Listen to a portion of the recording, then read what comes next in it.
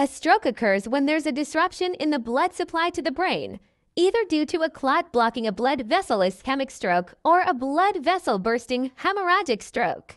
It's a medical emergency requiring immediate attention.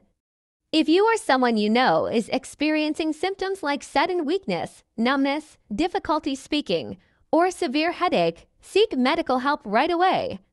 Early treatment can minimize damage and improve outcomes.